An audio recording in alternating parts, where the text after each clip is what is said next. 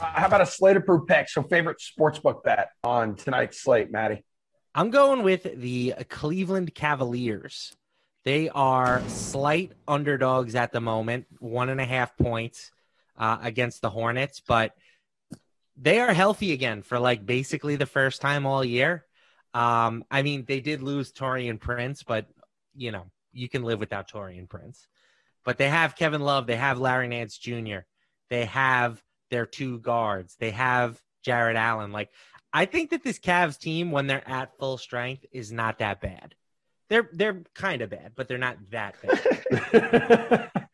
and uh, now they're playing a Charlotte Hornets team that is missing perhaps two of their best players in LaMelo Ball and uh, Gordon Hayward. So I kind of like them to to get the job done. I think that they can can win this game, um, and it wouldn't shock me if they won it kind of convincingly.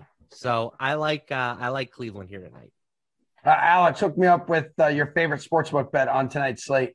I like the Blazers at minus two and a half at home against the Grizzlies. Like Matt said, the Grizzlies don't have Jonas Valanciunas, and without him in these last two, they've dropped two games and they've been 24th in defensive rating.